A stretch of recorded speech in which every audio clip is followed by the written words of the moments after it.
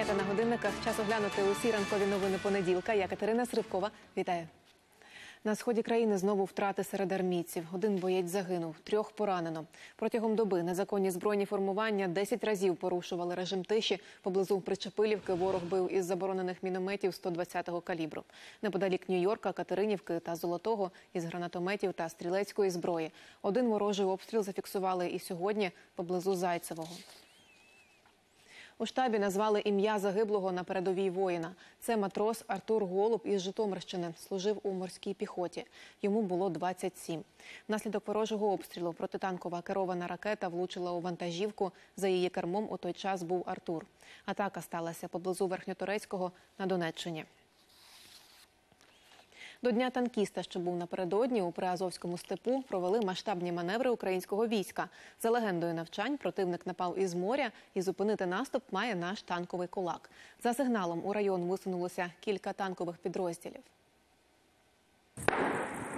Для танкістів почалися випробування на міцність техніки і швидкість реакції. За маневрами уважно спостерігає командувач об'єднаних сил, бойовий генерал Олександр Павлюк. З кожної бригади по одному найкращому танковому взводу показали за три дні, на що вони здатні. Показали все нове, що вони бачать по обороні морського узбережжя. Це теж дуже важливо на даний час в тих умовах, які знаходиться Україна. Танкісти змагаються в різних номінаціях, здійснюють марш у визначений район, швидко проводять розгортання та займають вогневі позиції для стрільби. Танки проти кораблів прийняття участі в протидесантній обороні. Це на сьогоднішній день актуально та ефективно. Нехай бояться. Ви знаєте, танкіст так дасть по зубам, що деякі зуби повилітають. Ці навчання повна імітація бою. Когда ты там всего, у тебя ты выехал задание три пострела, и ты все три пострела в мишень. Ну, потом в танке называется снайперская стрельба. Екіпажі відпрацьовують вправи, штани та карусель. Ці елементи були перевірені під час бойових дій на сході країни. Степовий ландшафт примушує танкістів діяти у складі невеликих груп із постійною зміною позицій і маневруванням. Ці машини постійно досконалюються. Те, що необхідно, на багатьох вже поставлено нові засоби зв'язку, е, тепловізійні приціли, що дозволяють впевнено нашим машинам діяти як днем, так і вночі. Засоби спостереження. Під час танкової каруселі бойові машини постійно змінюють положення, а вправа штани дозволяє вести вогонь по черзі, прикриваючи один одного, зокрема із засідки. Прийом танкова карусель це коли один із взводів чи один із екіпажів відпрацьовує питання вогневого ураження по противнику, змінює позицію. Інша машина виходить на визначену позицію і продовжує ведення вогню. Результат конкурсу не лише визначення кращого танкового підрозділу сухопутних військ, а й підвищення бойового вишколу особового складу, обмін досвідом ведення бойових дій. Найкращим танковим підрозділом цьогоріч став звод 93-ї механізованої бригади. 9 пострілів, 9 влучань, нагороди і грошова премія 45 тисяч гривень. Ну, гроші це не головне. Головне це показати себе, що ми можемо, що ми кращі зараз в ООСі на даний момент. Із Донбасу Ігор Левинок, Вадим Ревун, Ігор Щепет, телеканал Інтер. 1205 нових випадків коронавірусу зафіксували в Україні минулої доби. Померло 18 пацієнтів, понад 700 людей одужали. Найбільше інфікувань у Києві, Тернопільській та Чернівецькій областях. Вже найближчим часом уся країна може опинитися в жовтій зоні, а деякі регіони взагалі на порозі червоної. Тож які правила чекають на нас найближчим часом, розкаже Галина Якушко. Крива захворюваності на ковід іде вгору. Цього тижня кілька днів поспіль по 3,5 тисячі інфікованих. Причому косить українців, крім уже звичного штаму, ще й агресивніша дельта. У нас зараз дійсно е, рівень захворюваності різко зріс. Заповненість коїк ковідних фактично 25%. Найбільше хворих традиційно у столиці, в місті Києві. Складна ситуація і на Буковині та Прикарпатті. Хоча ковідні лідери змінюються, причина зростання кількості інфікованих незмінна. Люди забули про правила карантину. Маски вже не в тренді у супермаркетах і транспорті. Навіть зауважень не роблять через їхню відсутність. Хоча в мозі цього тижня пригрозили. Скоро на вулиці виведуть патрулі і незамаскованих штрафуватимуть. А ще в нас доволі низький рівень вакцинації. Повністю щеплений лише один із десяти дорослих українців. Лідирує знову ж таки столиця. Тут вакцинована вже чверть городян і курортне містечко Моршин. У рамках експерименту там уже щеплені понад 70% людей. Та це радше виняток, бо переважна більшість українців, особливо в регіонах, вакцинуватися не хочуть. Ні, я не планую. А чому? Ну як Бог дасть, я думаю, це не потрібно. Пасуть задніх Чернівці, Закарпаття та Івано-Франківщина. І це при тому, що Чернівці вже на порозі червоної зони. А отже, життя там знову стане на паузу. Діти підуть на дистанційку. Працюватимуть найімовірніше лише дві школи, бо тільки в них вакцинували 80% персоналу. А це одна з умов для очного навчання в червоній зоні. Решта освітян категорично відмовляються від уколів. Не допомагають ані обіцянки премій, ані вмовляння. Тож учителів самих посадили за парти слухати лекції про користь щеплення, а ще запустили мобільні бригади. Не потрібно шукати ані пункти вакцинації, ані центри вакцинації. Не потрібно переживати, що у вас уроки, заняття в школі. Ми йдемо до вас. Та віртуальні школи це не все, що чекає на червону зону. Кінотеатри, ресторани, торгівельні центри і непродовольчі ринки і магазини теж будуть на замку. Звісно, жодних масових гулянь, а громадський транспорт за спецперепустками. У мозі кажуть, готуватися потрібно не до жовтої зони, а найімовірніше до локдауну. І запровадять його вже в листопаді, якщо українці надалі бойкотуватимуть вакцинацію та карантинні обмеження. Галина Якушко, Василь Денін, телеканал Інтер. Велика Британія не запроваджуватиме ковід-паспортів для масових заходів. Таке повідомив міністр охорони здоров'я та соціальних справ Саджид Джавід. За його словами, ідея запровадити ковід-паспорти не матиме продовження в уряді. Відтак, нічні клуби та інші масові заходи британці зможуть відвідувати вільно. Водночас Шотландія оголосила, що з 1 жовтня зробить обов'язковим ковід-сертифікат. Документ вимагатимуть на заходах у закритому приміщенні за участи понад 500 людей. Лісові пожежі вирують на півдні Іспанії. Впоратися з полум'ям вогнеборці не можуть уже п'ятий день. На допомогу їм надіслали військових. Місцева влада евакуювала чотири селища в Андалусії. Нині вогонь підійшов у притул до популярного курорту Коста дель Соль. Зайнялося минулої середи в горах неподалік середземноморського узбережжя.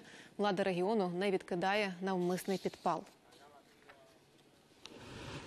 Тайфун Чанту обрушився на Філіппіни. Тисяча людей були змушені залишити свої домівки. Про постраждалих не повідомляють. Найбільшого удару негода завдала північним островам регіону. Ураган наблизився до них, коли мав найбільшу силу п'яту найвищу категорію. Вітер швидкістю до 180 км на годину пошкодив лінії електропередач. Потужні зливи спричинили підтоплення. Нині тайфун послабшав, рухається на північ і незабаром дістанеться материкового Китаю.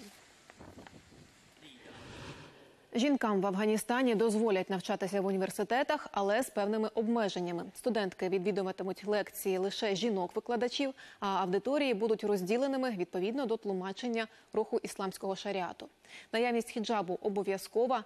Яке воно життя за середньовічними законами шаріату? Світлана Чернецька розкаже докладніше. Ця молода жінка Малала Юсафзай найвідоміша жертва Талібану. Бойовики захопили її рідне село в Пакистані. Жінки взагалі не мали жодних прав. Дівчатам не давали можливості навчатися. Вони не могли працювати. Жінок привселюдно катували на вулицях за найменші провини. Тоді 15-річній Малалі таліби вистрелили в голову за те, що, попри заборону, вчилася і розповідала світові про їхній режим. Дівчину врятували британські лікарі, і для західного світу Малала стала прикладом абсолютної безжальності Талібану. А ще символом того, що зараз чекає Афганістан. Коли я почула, що Талібан захопив наші вулиці, то запанікувала. Я була вдягнута в майку без рукавів, тож побігла за довгою сукнею. Інакше таліби могли б мене вбити.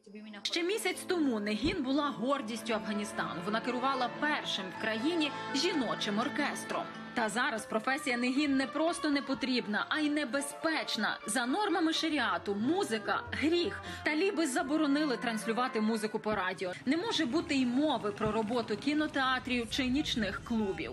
Талібан вважає танці гріховним заняттям, а брейкданс це ще гірше, бо західна культура. Хлопець не показує обличчя. Йому не вдалося втекти з країни, і він живе в постійному страху.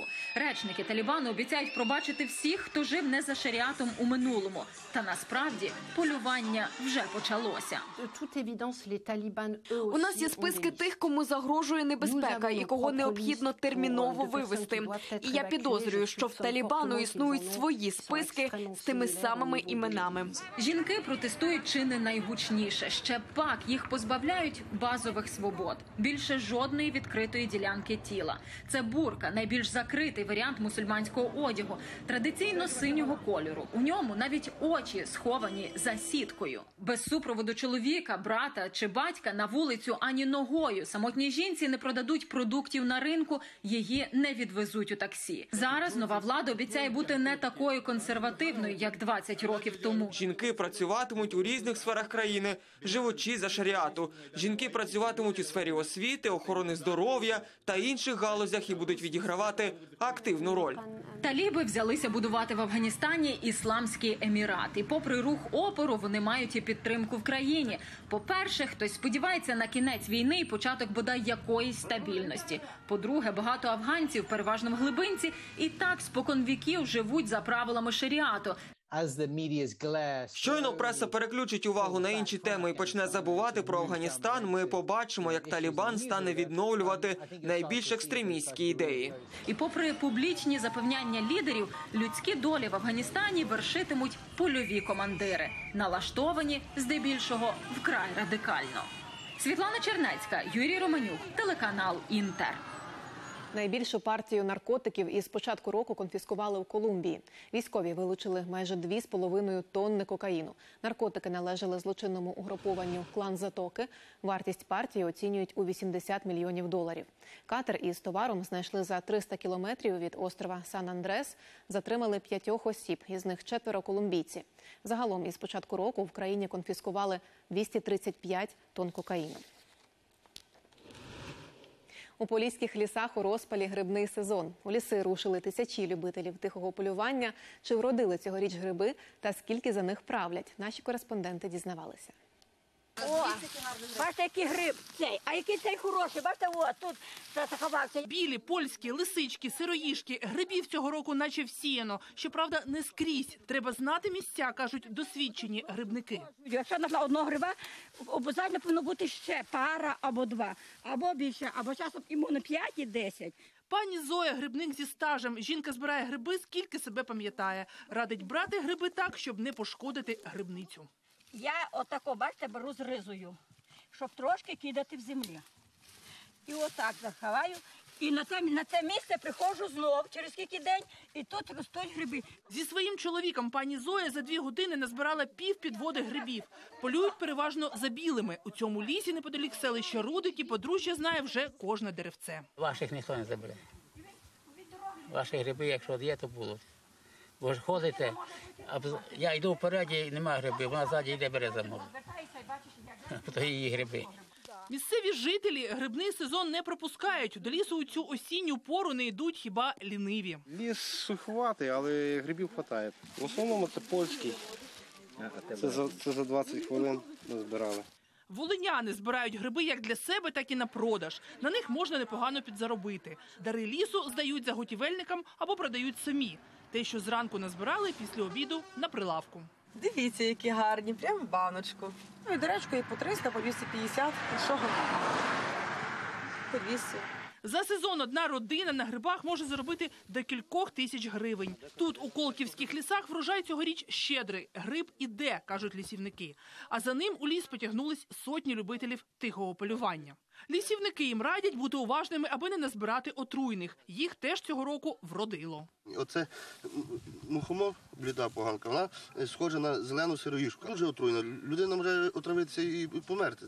Цьогоріч на Волині, скуштувавши отруйних грибів, постраждала з десяток людей. Симптоми такі ж, як при харчових отруєннях. Це може появитися загальна слабість, нудота, тошнота, підвищення температури тіла, різкий біль в животі. Теж не займатися самолікуванням. І коли це є підозра, що це причиною був грип, обов'язково дзвонити на 103.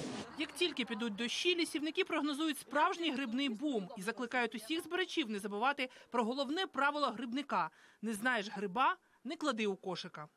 Ольга Клюєва, Сніжана Сидорук, Микола Василюк. Новини телеканал Інтер. Волинська область. Драма на стадіоні у Майамі під час футбольного матчу з верхнього ярусу зірвався кіт. Останньої миті зачепився за дріт кігтями і на хвилину завис у повітрі. Болівальники з нижнього ярусу не розгубилися, розгорнули американський прапор і впіймали чотирилапого. Кіт відбувся переляком, подряпав своїх рятівників і втік. Косметика, як у Клеопатри. Йорданський фермер варить мило з молока віслюків. Разом із матір'ю винайшов оригінальний рецепт із додаванням натуральних олій і став першим у близькосхідній країні, хто виготовляє такий продукт. Чому виробники називають своє мило цілющим? Далі в сюжеті. Емат почав виготовляти мило з молока віслюків рік тому. Спершу знайомі насміхалися над ідеєю підприємця-початківця. Мовляв, хто купуватиме такий дивний продукт. Утім, нині попит є. На підприємстві Емада варять по 5 тисяч брусків на місяць. Наше мило виготовлено із цілком натуральних продуктів. Крім віснючого молока, до складу входять олії природного походження, оливкова, мигдальна, кокосова і ніяких хімікатів. За словами косметологів, молоко віслюків зволожує шкіру, захищає від ультрафіолету, а також запобігає передчасному старінню. За легендою, навіть Клеопатра купалася у ванні із віслючим молоком. Цілющі властивості цього продукту надихнули й Емада і його родину. Найменший 85-грамовий брусок їхнього мила коштує 11 доларів. Це майже 300 гривень. Утім, покупці грошей не шкодують. Здебільшого я вдягаю хіджаб декоративною косметикою, рідко користуюся, але за зовнішністю стежу. Відколи почала користуватися милом з віслючого молока, відчуваю, як моє обличчя стало здоровішим, шкіра, наче помолодшала. Виробництво Емада єдине такого роду на всю Йорданію. Масштабувати його складно. На фермі поки 12 ослиць, доїти їх ще та робота. А з кожного надою літр треба залишити для дитинчат. Ослиці дають небагато молока, це більше літра на день. Зараз, звичайно, не збереш скільки треба, тож доїти треба кілька разів на добу. Свіже молоко заморожують, а потім везуть з ферми у місто і вже там варять мило. За процесом наглядає 60-річна мати Емада. Створювати цілющу косметику – її ідея. Ми хотіли не просто продавати продукти, а й забезпечувати роботою всю нашу родину. Першими брусочками поділилися з родичами і знайомими, зібрали відгуки і вирішили, що треба продовжувати справу. Згодом Емад і його родина планують на основі молока віслюків виготовляти ще й креми для рук і обличчя. Анна Філь, новини, телеканал Інтер. І на цій новині ми завершуємо. Стежте за розвитком подій разом із нами. Наступний випуск буде опівдні. Вдалого дня. Чекатиму на вас завтра зранку.